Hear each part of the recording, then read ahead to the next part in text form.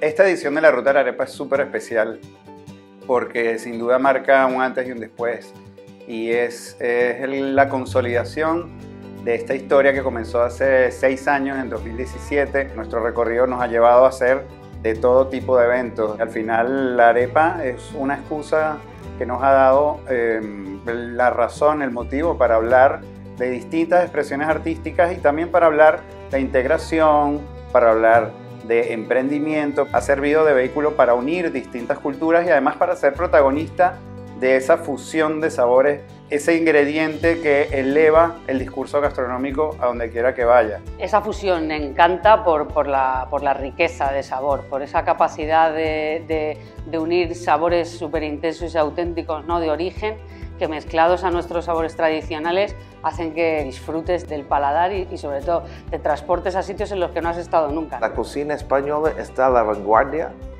de la cocina mundial.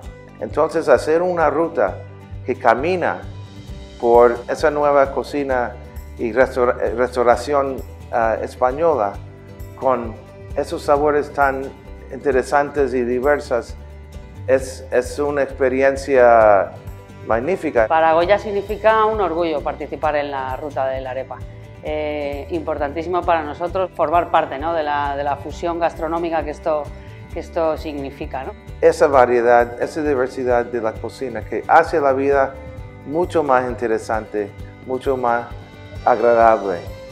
El tiempo nos ha dado la razón, hemos crecido muchísimo, este, la arepa cada vez es más popular. Goya le invita a la ruta de la arepa. No os podéis perder la ruta de la arepa. Va a ser divertidísimo, un montón de locales ofreciendo las mejores arepas, habrá un concurso, no os lo podéis perder. Los invito a vivir esta ruta de la arepa 2023. Venimos con nuevas energías, nuevas cosas para contar, muchas historias y sobre todo mucho sabor.